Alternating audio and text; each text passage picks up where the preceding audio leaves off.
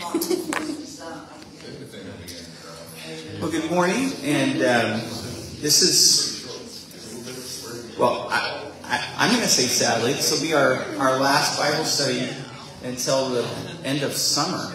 Um, and, uh, you know, originally I thought we were going to go through till July 17th, and then I found out that, well, VBS needs, needs the space, and so then started looking at it, and it was kind of like, okay, well, nice clean break. We'll stop in June, get started in September, and um, so. Uh, and but then I I thought about it, and I was like, you know, the way this is working out is, is that we're having these twelve speeches to pursue wisdom, and um, they're repetitive, and so when we pick up, while it will be new content, it will feel the same. and uh, and so in that sense, it's kind of like okay, well, and then we'll we, you know we'll do a little review and we will go over um, structure and stuff like that. Um, you know, if you if you didn't hear, um, one of our regular attendees, Elaine Ullery, passed away um, this last weekend, and um, uh, she has a son and a daughter, and then family members. Um, uh, we're working out details as far as um, services. Um, there's going to be a graveside service in Walla Walla and then a memorial service here, but we don't know the dates yet. So um, we can pray for her son Marshall as he is um, trying to deal with all of this, and he really does need our prayers. Um, I think he's getting great love by the church, and that's um, good. Some of you in the room are part of that. And um, so, um, yeah. Uh, so, with that, let's pray. Also, Rob, Priscilla Fox is having her surgery today. Oh, and Priscilla Fox is having her surgery today. Okay. Lord, thank you for this morning. And as we um, remember Elaine, we give thanks for her. And um, we rejoice that we have the hope that you've given us, um, that she is with you. You are the God of the living, not the dead. Uh, our lives do not end when these bodies give way, but we look forward to resurrection. Um, we ask blessings for Marshall. Uh, we also lift up Priscilla to you and pray that her procedure, Lord, um, is absolutely successful, that you would protect her and bless her, uh, be with the doctors. Be with us today as we um, continue to hear the call towards um, wisdom. Uh, bless us, Lord, in Jesus' name. Amen. Amen.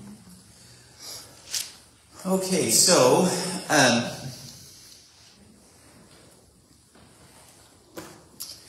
chapter 4, looking to try to catch up so that we actually get to chapter 5. And um, so I think we're on verse 20. And um, this is this. There in chapter four, there were four or three separate speeches, and so one of the things to note is that when you're reading through these, um, this first collection of proverbs, um, where you have uh, a prologue, an epilogue, a little summary beginning, a little summary ending, and then you have 12 other speeches, 10 by a father to his son. Uh, two, where we will hear wisdom speak out in the streets. Um, when it begins like this, my son, pay attention, um, that begins a new speech. And so, um, so in verse 20, my son, pay attention to what I say. Listen closely to my words. Do not let them out of your sight. Keep them within your heart. Um, you know, hopefully what's happening over time for us is that we're reading this and we're beginning to learn the language of wisdom that is presented to us in Proverbs. Um, it's something that we should pursue, so to pay attention, uh, to listen closely. Um, it is about learning the content. Um, it is about you being diligent and committed. Some of the metaphors that we've heard is like digging for gold.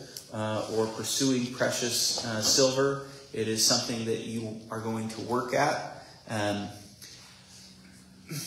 historically, in context, you know, some of us were probably that our education was a little bit more like this. They don't do this as much today, but a lot of these things would have been learned by rote.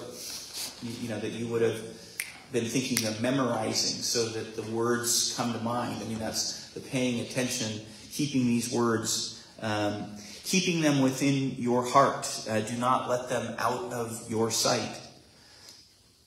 For they are life to those who find them, and health to a man's whole body. And um,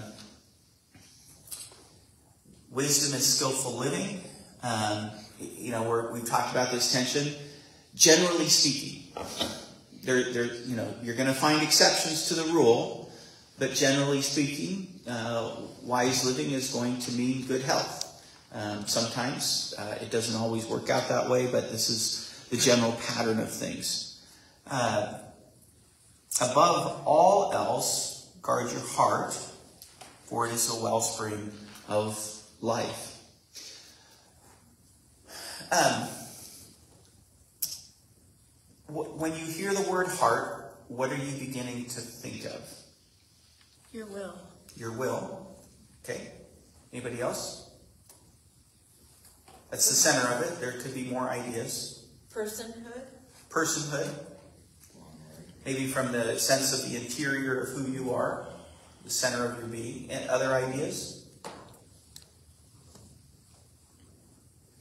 Um, it's it's the seat from which you live, like the throne, your heart. It's and and you know, and this is the part. Somebody sits on it, and what you want to do is is you want your heart to be led by the Lord, so that you give Him the lead of what you do. It speaks of will, volition. It it has the idea of uh, your mind is associated with it. We can distinguish between the heart and the mind, but the heart, the will, um, needs to be rational, it needs to be based on an understanding. So your heart grows in understanding. Um, and so there is a discerning element. It includes passion, it includes feeling, but it is, again, primarily that, that seat of choice. Okay. So, we're reading through these things, we're reflecting on them. There's this call to wisdom. Guard your heart. What would it look like to guard your heart, to pay carefully attention to how you choose to live. Ideas? What you listen to, study, read. Be discerning in what you listen to, study, and read. Right. Yep. What you put into it. What you put in matters. Um, you know, there is, there, there is, it seems to me that in our culture we will find, um, I'll pick on a low hanging fruit. Um, and, and it's, it's associated a little bit with where we go the next time. You know, there, there's a part where it's like our, our culture will act as if it doesn't really matter what content you focus on. And so, for example, you know, our, our culture for a couple decades now has really promoted pornography as something that should just be seen as common things that people do. You know, we're sexual beings and the sex has appetites, so go ahead and just feed it and, you know, use these things. Now, everything in biblical theology would tell you don't listen to that, that's a lie, but that's where our society is at. Um, we should sit there and stand back and say, are we surprised that our society is messed up sexually? No. You know, what you focus on and how you focus on and what you choose to do matters. And so you don't fill yourself up with that content. This is a wellspring of poison that's going to kill you. Um, and so guarding your heart is, yeah, being concerned about what you allow in, what you focus your attention on, um, one of the things that we've heard is, is that you also need to be wary about your peers and their influence. And, you know, this is a part where we're to be in the world, but we're not to be of the world. We should have friends in our life who speak truth to us and don't just tell us. This will be something you'll hear later on. What our itchy ears are, are, are wanting to hear, but instead will hold us to the truth. Um, who you, you know, so who you relate with, um, what you allow in. Um, remember the language of pathway, walk, road. A big part of guarding your heart are the, are the simple choices that you make every day to choose to do the good. Um, and, and we know, uh, we, we especially know that our brains are, are developed for this way. We develop neural pathways. And so, you know, and, and every day the choices that we make are laying down a pattern. And so, you know, when, as we intentionally choose healthy rhythms and habits, it leads to a good life. Um, and so, um, you know, you get up and it's like, okay, I'm going to make certain choices today. I've got a plan. I'm going to choose the good. I'm going to fill my mind with good thoughts.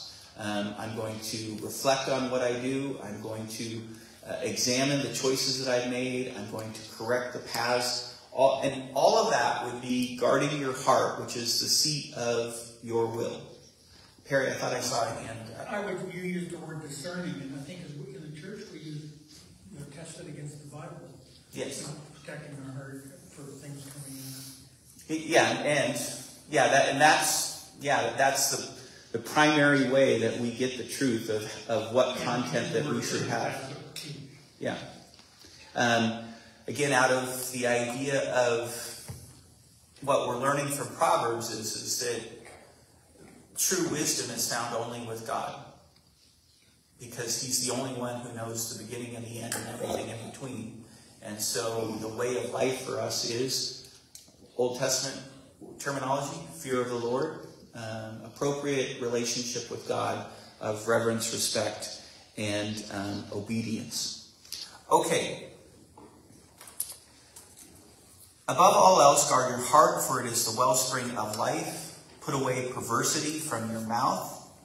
Be careful how you talk. Keep corrupt talk from your lips. Um,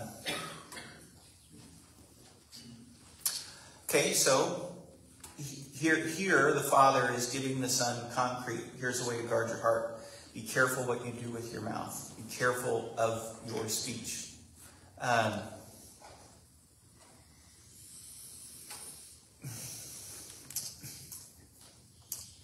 so, coarse talk, um, demeaning talk, um, gossip. Um, you know, I, I, was I was I was having a conversation with somebody the other day, and, and there was a reflection about kind of you know the way relationships work, and and the person was making an observation of you know you know. I mean, these people, they get along well, but whenever they get together, they just, they, they spend all of their time gossiping. And, um, you know, and, and that becomes a pattern. And, you know, and, uh, and then, it, you know, and it's this part where it's like, you know, like we're going to hear this in, in, in different aphorisms as we go forward. But, but words matter. And if you, if you, if, if the words that spill out of your mouth always are critical and always tearing down, it trains you on how you look and how you think. And, and instead of lifting other people up, instead of being, you know, a balm of life that, that you know, helps encourage people, um, you, you, get, you can get stuck in that. So you want to be careful with your speech. Um, it, yeah, I mean, we're moving to more coarseness in the way people talk. Um, you know, I don't think it's going to be too long, and you just expect explicatives, you know, to be just everywhere on television. You know, I mean, it, Already. And, and I mean, The of and- Costco. what? I mean, everywhere, in the aisle of Costco. Yeah. Some man is dumping on his wife and his mother-in-law, and they're screaming and yelling in Costco. It's terrifying. in Costco, like out, yeah, yeah. I remember watching a movie, if John Wayne said damn, they, they bleeped it out. And now it's like, whoa. yeah, you, yeah. There's words that you know you never used to hear just on regular television, and um, I- you know, and, and this is the part where I mean, even if you were raised this way, you know, so like I was raised in a pretty salty environment when it came to language. You know, we had we didn't go to worship on Sunday. We had the Sunday fights, and and the Sunday fights were mostly verbal. Every once in a while, you duck so that you you know something flying through the air would you know it would miss you, but it wasn't aimed at you anyways. It was, but anyways, it was. I mean, uh, just giving you. I'm not, and I'm not joking about this, and it. You know, but it was kind of funny because you know, still in in my parents' generation, there was some expectation that that you know you you you really weren't supposed to speak this way. At least don't let the kids speak this way. So I, I mean, I always remember this is that one time I said "dang," and my dad was, "What'd you just say?" Dang. That's too close to damn. Yeah. What? and I got in trouble. And you know, and, and there's part of me that's kind of like, how does this work? Yeah. You and mom say everything, and I get in trouble. But, but I can still say to this day that my, my parents have never heard me say an expletive. Ralph, I never heard my father ever speak. You never heard your father ever. Ever. You were Four blessed. You were blessed. Oh, yes. But yeah, but that's the part where there's been this breakdown. But that's the part where now you you and I as Christians, we're supposed to be different. We are supposed to, to care about our and we're supposed to control it. Now I would warn you, I don't expect non-Christians to get this. So I don't I you know like so I, I I've never been this person who who sits there and you know is really uptight with non-Christians about the language that they speak. But they know that I don't speak that way. I, I, I, mean, like, you know, so like, and part of it was, you know, because I grew up with it. I mean, I, I don't get shocked by it. I don't do it. But I'm not going to let that get in the way of me trying to form a relationship with this person. But hopefully, the, the difference between how they speak, and I also sit there and I go, there's a certain laziness. I mean, you know, I, I had this one person I worked with, and every fifth to seventh word was an expletive, and it was like, well, Yeah.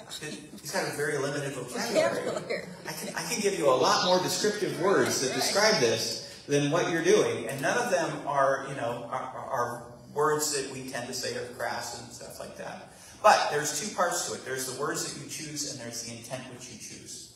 And you want to be both avoiding crass talk, and you want to be avoiding um, overly critical. I mean, there's a place for judgment, but there's a difference between, you know, saying, huh, that's probably not a good choice, and tearing somebody down with your words.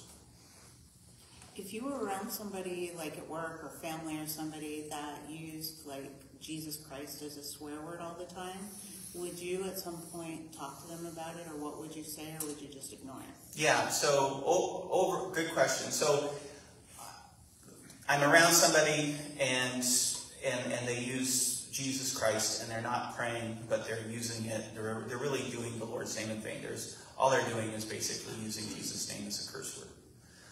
How would I respond to that? It would depend on the depth of relationship. So one of my, you know, like Patrick Smith and I are out golfing, and the first nine holes were, you know, we've never be, met these people before, and they are swearing up a storm. You know, I mean, you know, just all over the place. We're and you know we're, we're laughing with them, getting along with them, mm-hmm. and then you know we get to hole number ten, and they finally turn to the question. So what do you do? And, and I'm like, oh, I'm a pastor. Oh. They actually swore again, but it was kind of in the shot, right? They just couldn't, what? And, um, you know, and in one sense, I felt like, okay, so in that situation, the very fact that, you know, for nine rounds they could get along with me and, and, and there, there was no sense of condemnation. I think that was kind of the positive thing of going, you know, I'm not going to just be this uptight person that just by the very, I don't, but if somebody was a friend of mine and, and they were non-Christian, then eventually I'm going to say something, you know, because they're going to know, you know, and it's like, and, and, I, and I have done that. What do you say? And, and I say, well, you know, I don't know if you if you're aware of this, but oftentimes, and it's one of these things where it's kind of interesting to me that this happens, that you use Jesus' name, but you're just saying it more like a curse, and it hurts me. And and you know, I haven't said anything up to this point because I didn't want to like turn you off, but you know, we're friends now, so just so you know, that I mean that, and they're like, I, I said that. And I said, well, I do believe that there's power in Jesus' name, and I think it's one of the reasons. But yeah, you do. And um, now, with a Christian, I would get there a lot more quickly. you know, because then, but but but I, I but you know, but there still needs to be some relational context um, but for, for this. Whereas, like you know, and and you know, and that's the part where I, I try to put things in questions. Um, Jesus was really good about asking questions, and so it's kind of like, so okay, so how do you how do you, you know, how do you approach the way that you that that you speak with what Jesus would want you to do? You know, and instead of just you know, you know, slapping them down and saying, you know, you know, it looks like you're pretty inconsistent, and you know, you're like a bad Christian. Because, you know, it's like, no, I want them to be processing this stuff. But um, with a non-Christian, I, I I more get to the point of kind of sharing with them you know, in this instance, the way that they're using their languages has an impact on me. And I, and I like being with them, but it does hurt me, and, and I just wanted them to know it. It's interesting that they use his name at all. I mean, it's like I, I've said it a couple. Of, oh Mike, oh you, I didn't know that you had a relationship with Jesus. You know, when they just Jesus Christ, I was like, oh wow, great. You know, and then they kind of laugh, and it's it's. The, I'm shocked as far as like in movies, oh, yeah. because it's like, I, I'm, I'm pretty sure they've written it into the script, right? Of course, of course. You know, and it's kind of like, that's really intentional. It's in So why are they writing that into the script? But anyways, the screenplay puts it right in. Okay, so put away perversity from your mouth, keep corrupt talk far from your lips. Let your eyes look straight ahead. Fix your gaze directly before you. And the, and the idea here is, is that directly ahead on the straight path, keep your eyes fixed on those things that are good. Don't, don't look at perverse ways. Don't look to be tempted. Um, don't, you know, and, and, this could be, at this point, um, broadly speaking, you know, I mean, this is the part where we're going to have different temptations. Um, some of us are going to covet. Some of us are going to lust. Some of us are going to um, become judgmental, and uh, you know, and will and and our gaze, and it's saying, you know, think about what you focus on, and and there is that thing of that's something as far as you and I have the ability, and this is what the heart does, is the ability to choose what we focus on. Um, our minds can wander, and there's not much you can do about it, but you can train yourself to refocus. And, and scripture memorization becomes a great thing here. Because then it's like, you know, you train yourself when your mind wanders. Um, you know, and so, you know, simple lessons as far as um, forming habits. If, if there's a sense of conviction, that um, uh, you know the, this i'm going to pick on speech here. The language that comes out of my mouth is too critical and, and, and it also leads me into gossip. Um, okay I, I'm, I'm, I'm going to intentionally try not to say anything negative about anybody else and if I, if I, if I fail, then I'm going to pray for that person and, and I'm going to, you know, and I'm going to say a scripture that comes to mind. And so, and then there's things that you can do where you trigger, and it's like, okay, when I make that mistake, then I'm going to do this. And slowly over time, those can be things that will help you um, guard your tongue. Um, Let your eyes look straight ahead. Fix your gaze directly before you. Let, let me tell you one thing, though.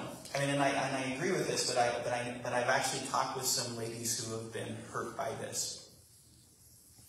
One of the big problems in our culture today is, you know, just the, the our problems with, with dealing with ourselves as sexual beings, very obviously.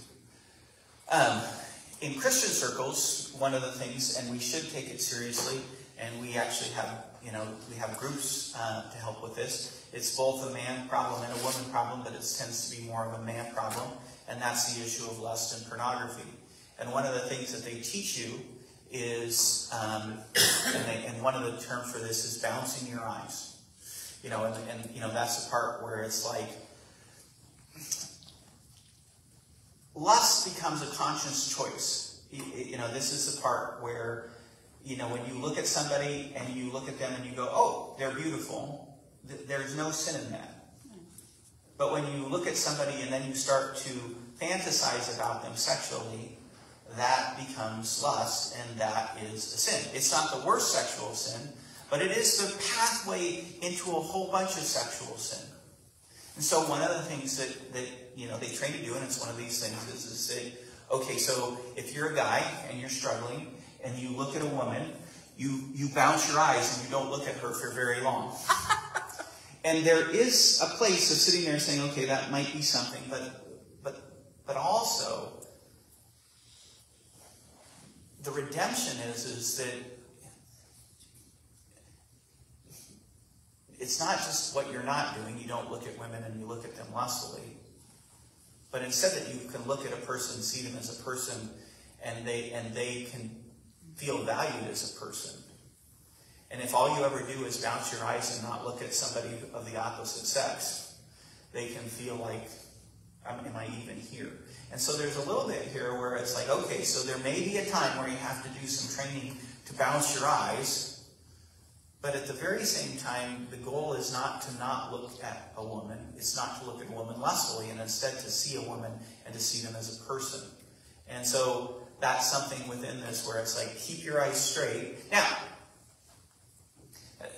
this is a little bit of a cultural thing. I mean, they were much more uptight in, in, in other cultures about women keeping their faces covered when they went out in public because, well, they knew that you know, men would look at women and they would often look at them lustfully.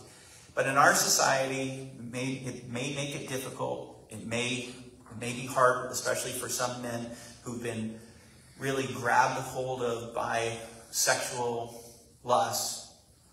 But looking straight doesn't mean always bouncing your eyes and never looking at somebody of the opposite sex. It means becoming the type of person who looks and sees a person and doesn't use somebody as an object for their own gratification. I, I have a comment. So what you said about um, training yourself, like if you're going to gossip or think something bad about someone, and then instead you pray for them. I had an experience where, uh, like two years ago, my neighbor got a trampoline, and it had these squeaky, squeaky, squeaky, you know. And so, and the kids would go out and jump at 11 night. And so if I wanted to go to bed early, I'd hear this squeaking. And um, I tried to talk to them, and they were not responsive. Mm. You know, could you do a little earlier? Uh, maybe you can oil them or something. But they were not responsive. So every night, I was finding myself getting mad. Mm -hmm. Like I would lay in the bed, I'd wait for the sound, I'd hear it coming, I'd be like, for half an hour, I'm going to have to hear this, and it would make me mad. And um, and I thought this isn't right. You know, I'm in a bad mindset towards them.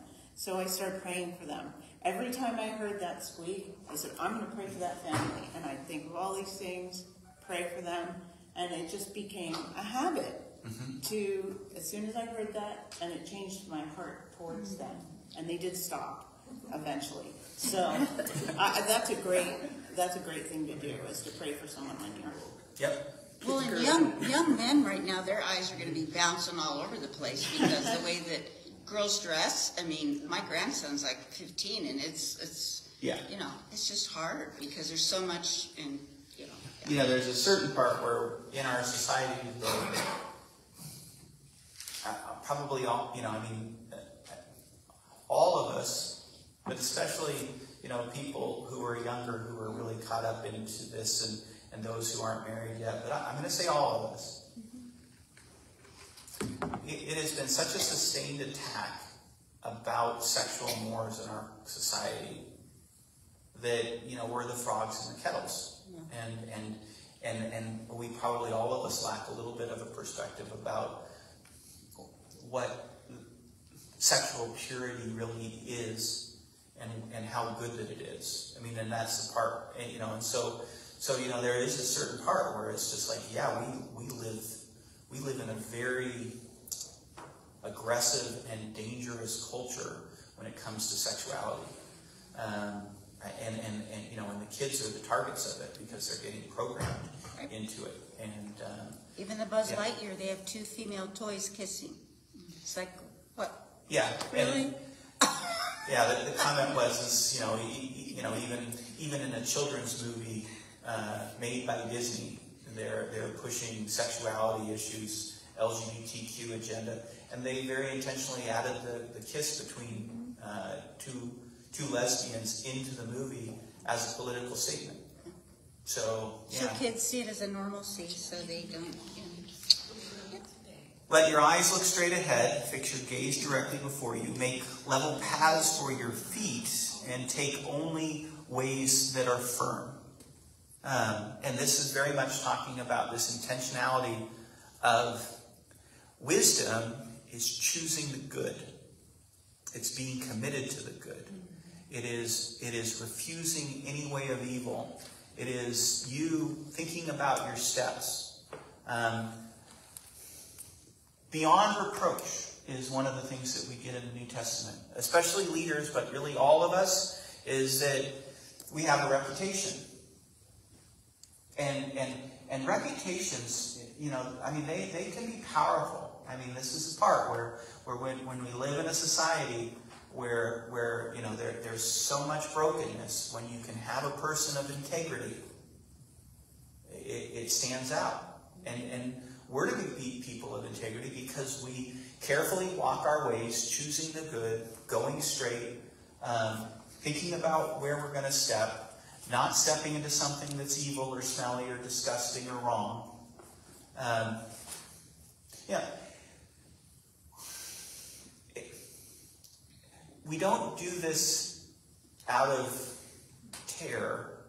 We do this out of a desire for what to, for for blessing and life and goodness, right? It, um, you know, like so. When I became a pastor, I knew that we are one of the most audited groups of people, and I was a math minor. I'm really good at math. It's very easy for me, and I went. I'm going to pay the money, and I'm going to have an accountant do my taxes because I'm probably going to get audited at some point, and all I want to do is, is to be beyond reproach.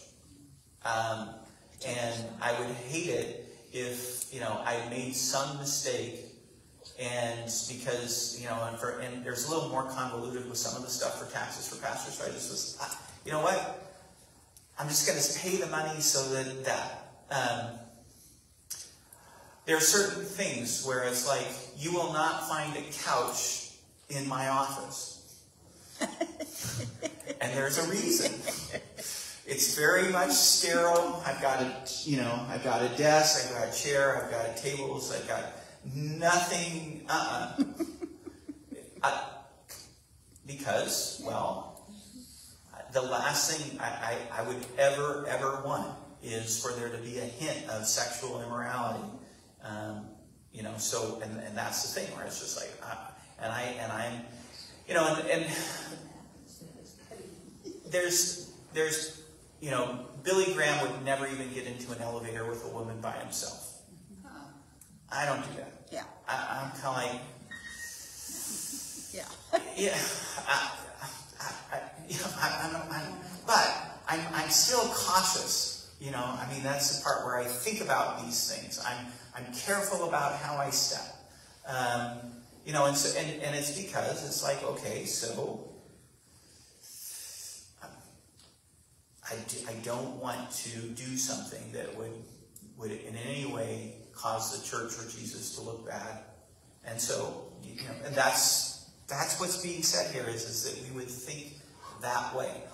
Wanting the good, doing the good, looking for the good, making sure um, that you know we don't do anything that is evil.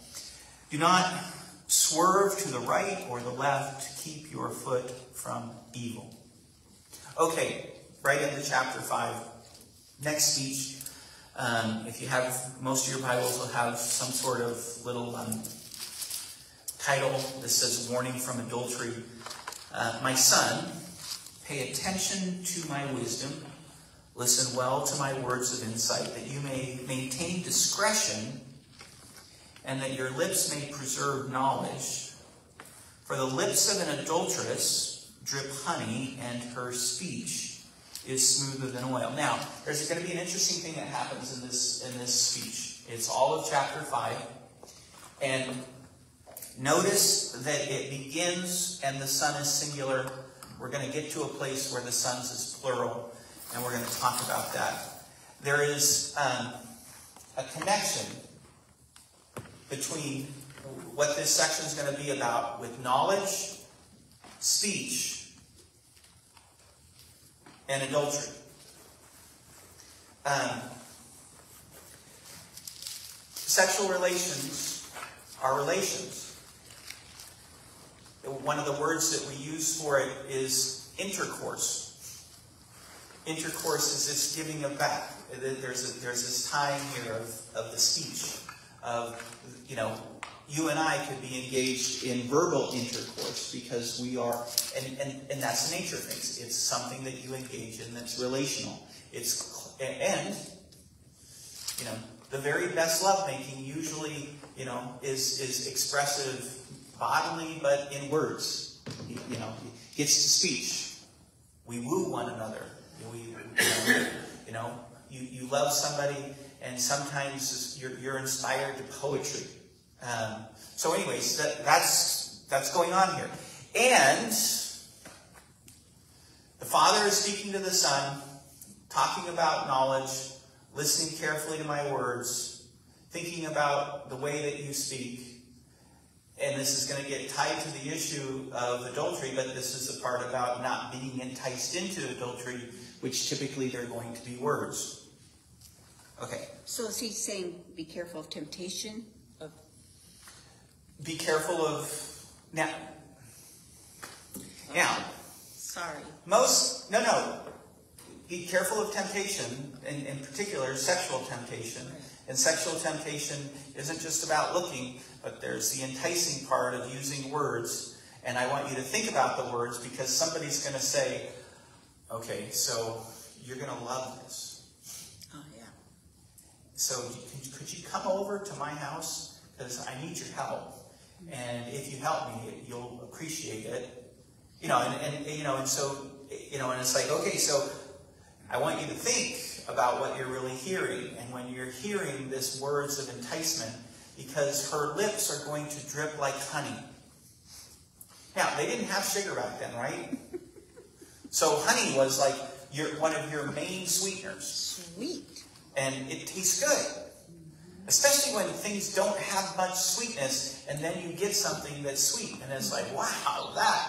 Like, I remember the first time that I had an orange fresh off the tree when I went down to Arizona, and it was like, what have been these things I've gotten from the grocery store? These, they, they, this is so much better. Oh my goodness. I can't believe how good this tastes compared to that.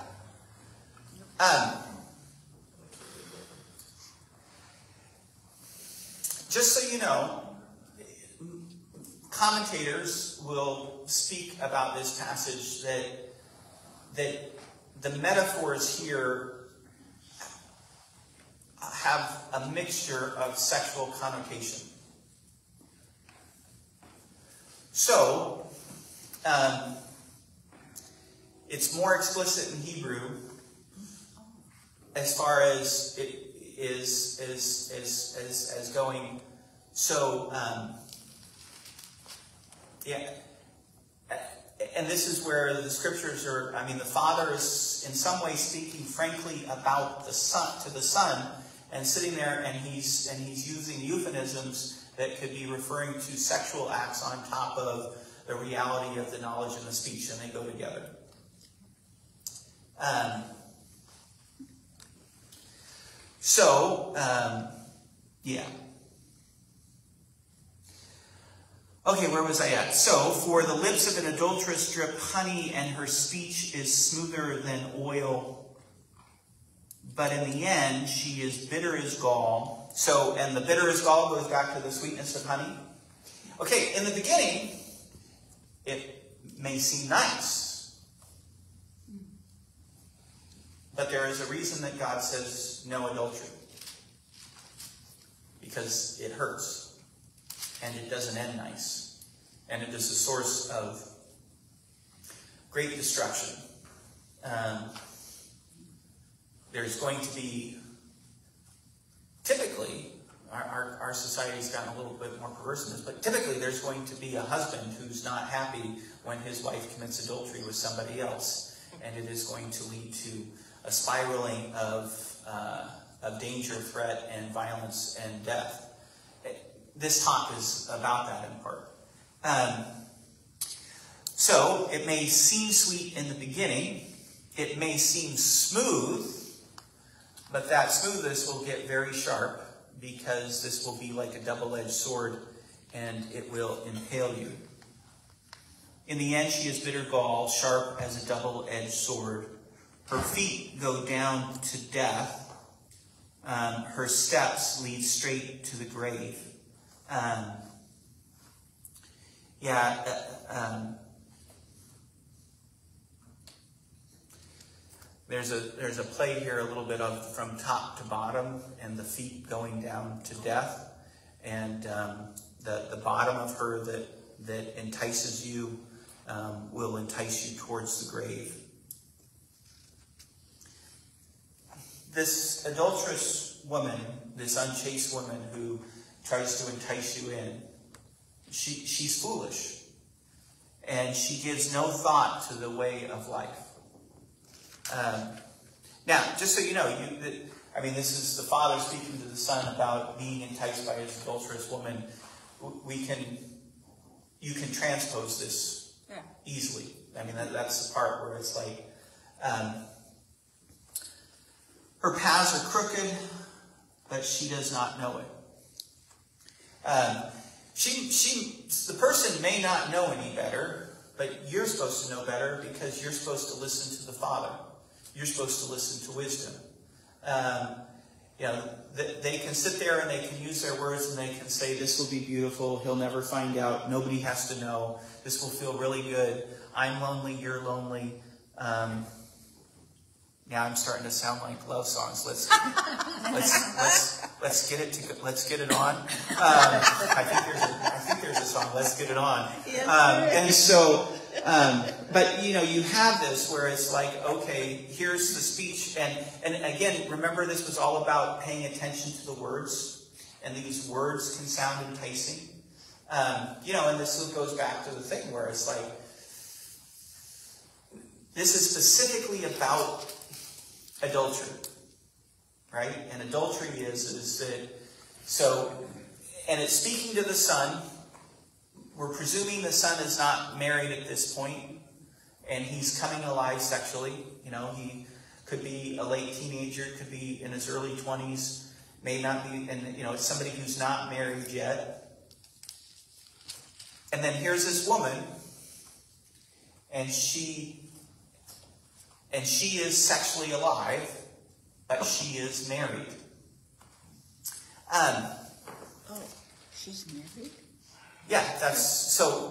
It, it, somebody said, you know, she's married. So adultery is the is the, is the sexual crime where one person, at least one person, is married, and you're having sex with somebody who's married.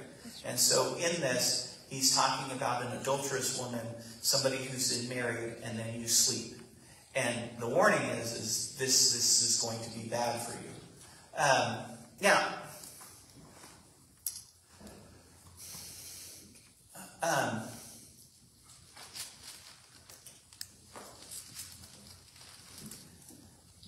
the new, the Old Testament has different um, punishments um, or no punishments at all for men when it comes to sex.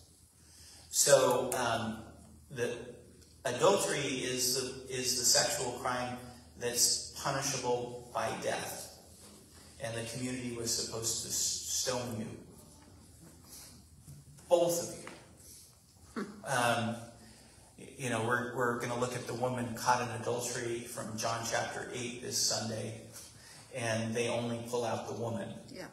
And, um, and that speaks to you that they really weren't concerned with holiness or the community. They were concerned with trapping Jesus in a lie. Um, now, the Father is speaking to the Son eh, within the context of the Old Covenant and saying, Beware the adulterous woman because this will not go well for you. The punishment is death. She may speak smooth words to you.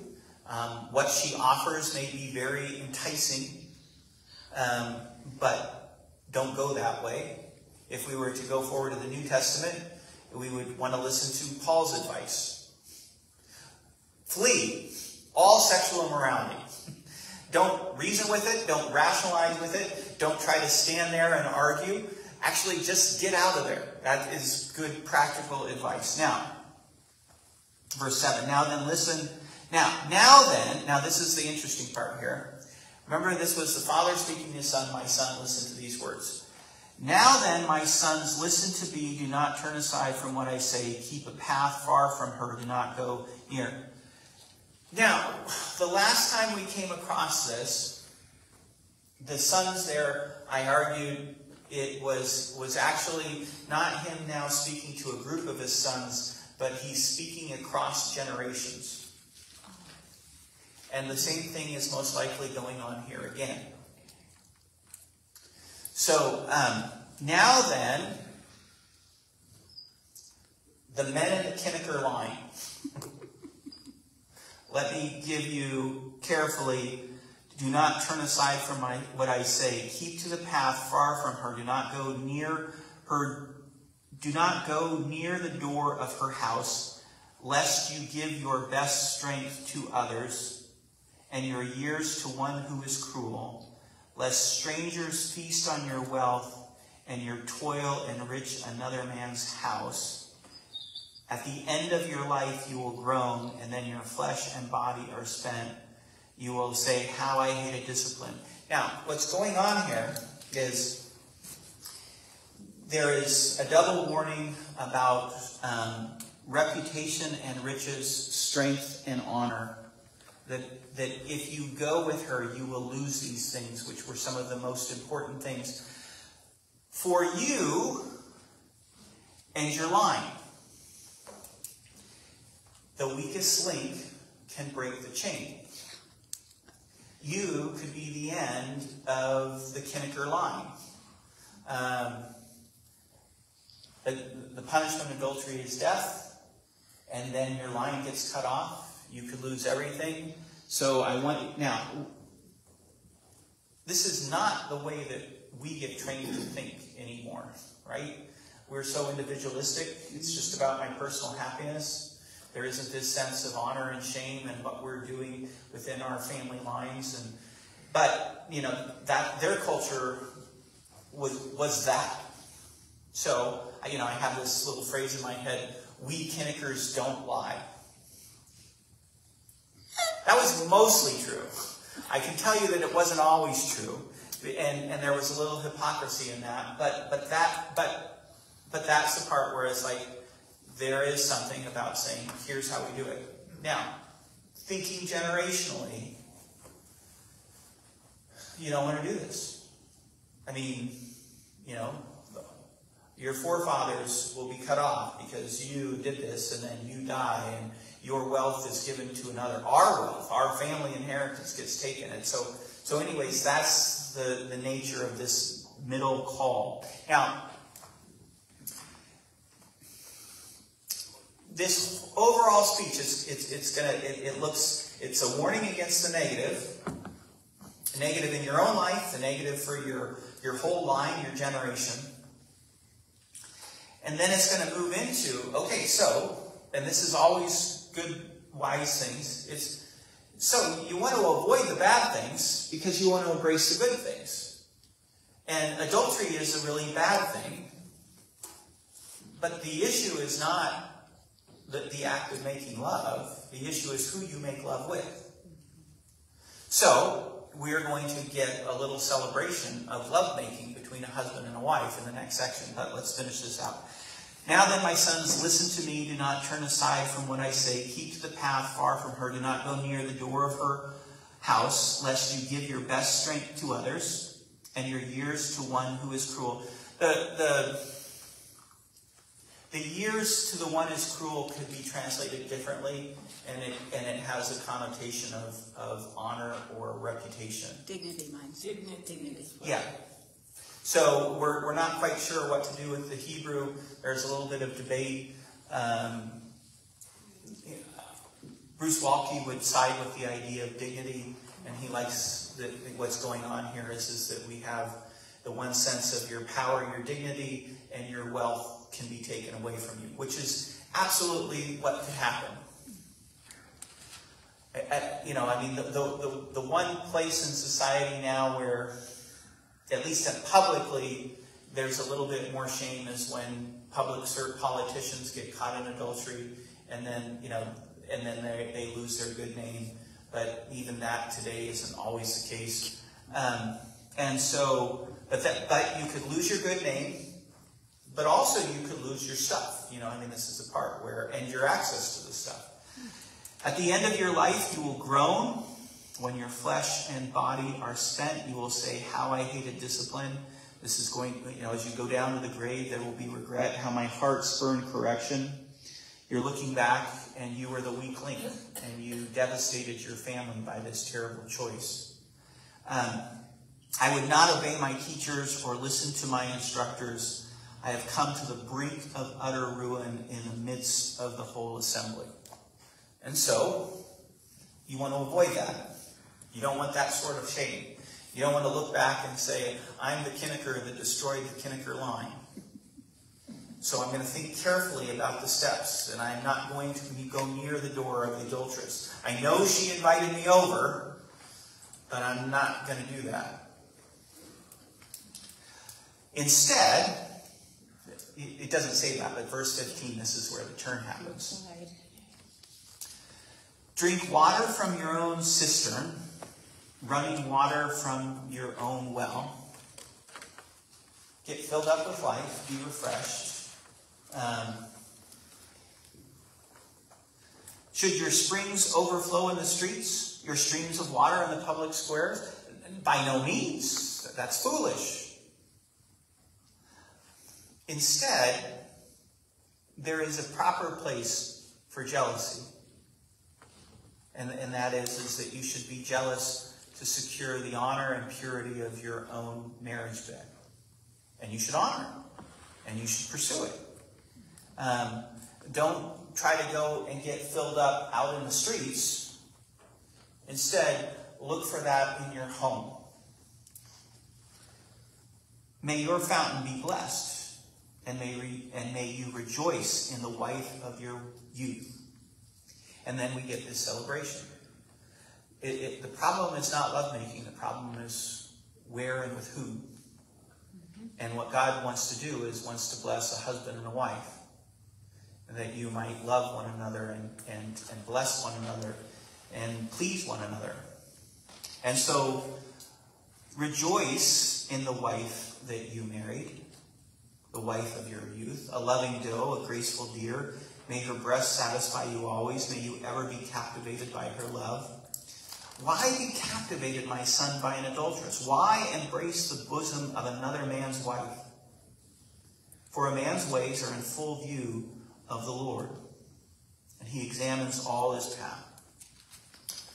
Um,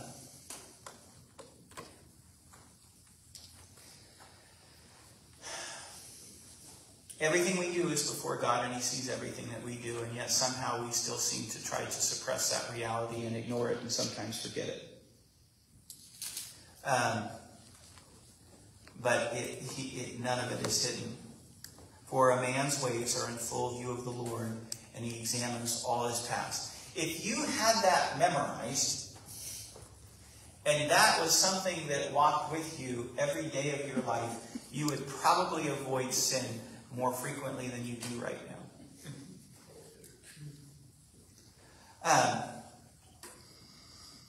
the evil deeds of the wicked man ensnare him, the cords of his sin hold him fast. He will die for lack of discipline, led astray by his own great folly. And so, and, and that, that becomes the story of, of adultery. Don't go looking to be with another man's wife. Learn to be satisfied and, and, and find your life in the one that you've committed to because this, this act is intended to be a blessing, but a blessing here. And if you do, it will fill you up. But if you don't, you will be disappointed. You may end up ruining not just you, but generations. And, um, and that's the warning that we find in chapter 5. Is it always with adulterous women, with adulterers, or is there ever a conversation to a son about just another girl, or? Is there, is there a conversation? There are going to be things about um, not uh, of, of not igniting desire prematurely. Um, the uh,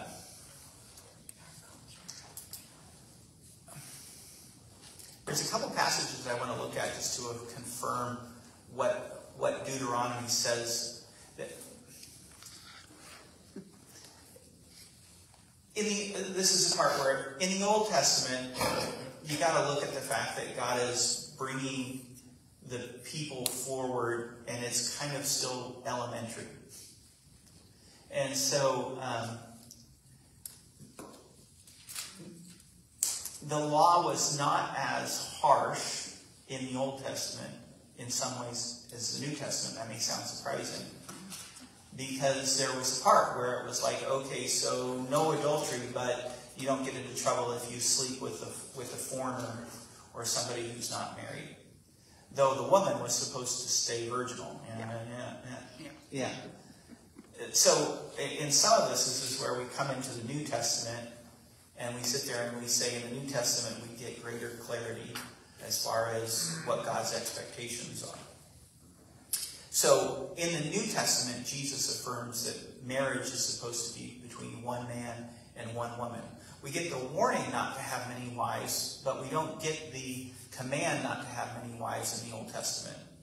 Um, and, and so, but in the New Testament, it's affirmed. Now, if you read carefully the Old Testament, you can, and because Jesus is the one who reads it this way, you look at the fact that um, in Genesis, when it says that a man will leave his father and mother and be united to his wife, and the two will become one flesh, it's one man and one woman, and that's the marriage ideal.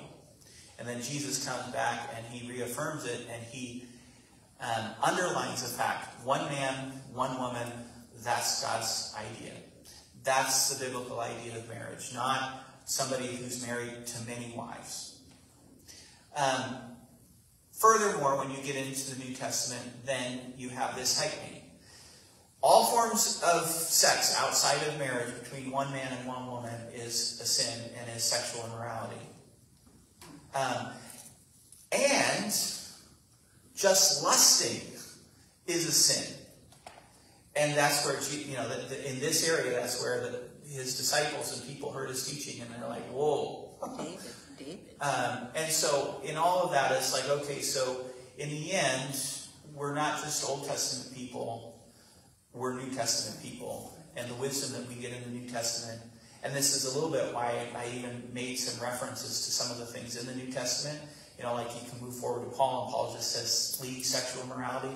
And he's using sexual immorality there in the broad sense. He's not just talking about adultery. He's talking about any form, the word in Greek is porneia, and it would refer to anything that isn't according to what's right. And so then it, and, and the list is, is fornication, which is people who aren't yet married having sex together.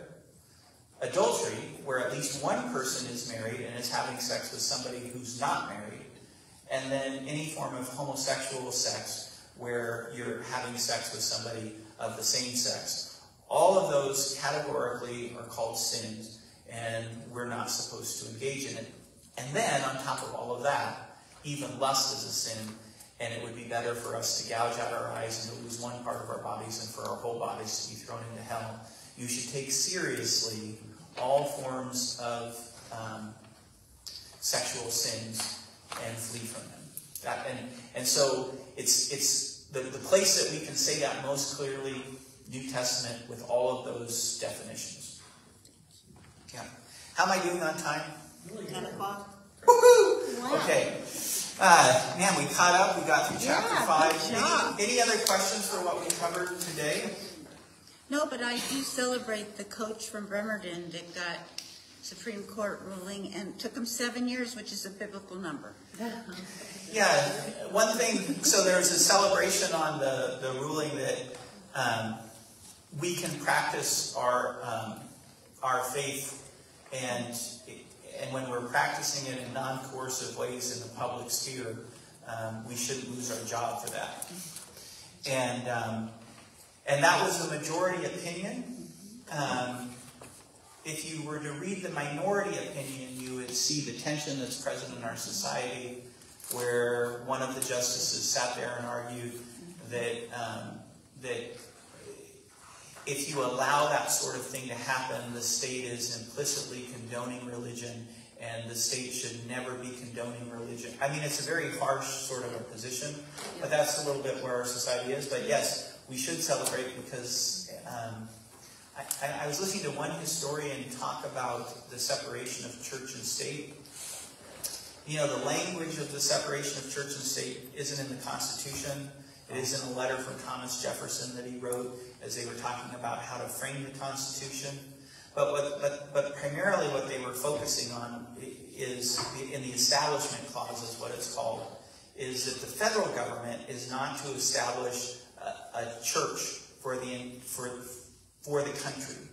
And this is coming out of the context where you have the German state church, which was the Lutheran church. You have the Anglican state church um, for Great Britain. Um, and, and they said, we don't, we're not going to do that. But that was at the federal level. When that was discussed, when the Constitution was framed, most colonies had specific denominations that were their denomination for their colony, and it was actually assumed that states and churches could work closely together, and some states may choose to have one specific denomination that is the sponsored denomination for that particular state, and that would not have been something that would have went through the Constitution. There was a much closer understanding of how church and state would work together, but it was at the state level, not the federal level. And I found that very interesting to go, mm-hmm. mm-hmm. we've come so far, and the story's been twisted so much, that we are now at this place where the, the assumptions could be if, if, if you allow religion to be done on, a, on federal property, you're coercing people towards religion. Um, but anyways, it is something to celebrate. There's a little more information on that. Let me pray for us. Prayer request? Yeah. Um, Tim and Cindy Ford's dog, Jenny Lee, um, they're taking her to the ER, so they're just asking that we would pray and, and, uh, hopefully the dog will be okay. What's the dog's name? Jenny Lee, Jenny Lee. and I have one more Okay. prayer request. My daughter-in-law Kimberly just had a baby, six years old, right? So she, um, last night, her blood pressure shot way up and they told her to go to the ER. So I was over there taking care of the baby until two in the morning. And they're really concerned because they couldn't get it down, um, for quite a while. And now they're watching it and trying to see what's going on with her. So prayers for Kimberly. Kimberly? Lord, thank you again for the gift of your word and your desire for us to become wise. Um, Lord, may we, all of us, pursue wisdom. May we seek to align our lives with your revelation and your truth and who you are. Thank you, Lord, that you are a gracious and good God who loves us and um, calls us to partner with you. And one of the ways that we get to do that is when we pray. Lord, we lift up um, Jenny Lee to you and pray for Tim and Cindy and and um, Lord, uh, very obviously, they're, they want their dog to live. And so, Lord, may you help the vets deal with what's going on and, and help um, them have more time uh, with their beloved uh, pet. Uh, we lift up Kimberly to you, Lord. Uh, we thank you for the new baby, and um, she's quite beautiful. Um, but, Lord, we lift up this situation and why she had to go to the emergency room, and, and the, the doctors are still at a loss of what's happening. And we pray, Lord, that you will provide both wisdom and understanding of what's going on, and may they be able to help treat her and bring her to full health. Lord, we know that you can you can work through us, but but we also know that you can work beyond us, and we pray for Kimberly that Lord you would use um, your power and and strength to to help her be healed. Uh, bless her, Lord, and keep her in Jesus' name. Amen. And Carol McGilliard's having a procedure Carol, tomorrow. yeah, Carol McGilliard's having surgery Thursday, I think. Tomorrow, yeah. Which yeah, today's Wednesday, so tomorrow. And then she's going to Ingles Creek, so that's cool. Wow. Okay. Have a great um, summer. Yeah, thank you.